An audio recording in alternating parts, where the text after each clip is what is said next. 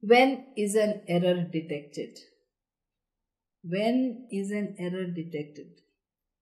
We have already done when an er error occurs. Now we are looking at when an error is detected and rectified because depending on when the error is detected and rectified, our accounting treatment would vary.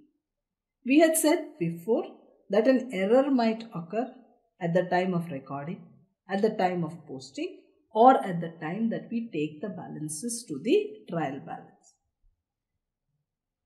Having said that, now what are we looking at? The error has already occurred but when do we find out this error? When do we detect this error?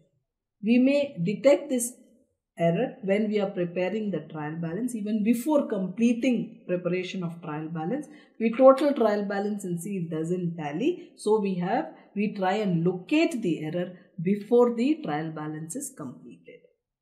Or on the other hand we may we are not in a position we don't have the time or we could not detect the error at that point in time. We want to quickly quickly complete with this process of finalizing so we prepare a trial balance as it is not balanced we carry on and subsequently after preparation of the trial balance which may not have tallied we will rectify errors Thirdly, we may not be able to find the errors at all in the current year. We detect the error only in the next accounting year.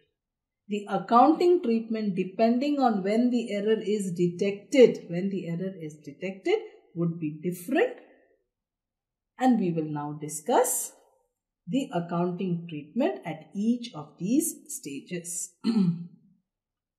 These errors which as I said, may be detected before trial balance. Such an error may be single-sided, may be double-sided.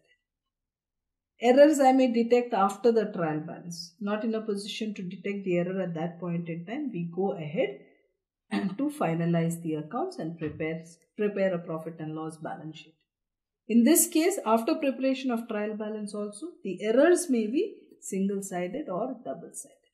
The thing is when it is a single-sided error and it is detected after the trial balance, usually here there is a suspense account. If our trial balance has not tallied, the difference in the trial balance is put into a temporary account, into an artificial account called the suspense account.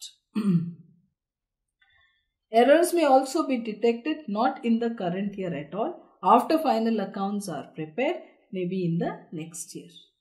Such errors also may be single-sided or double-sided.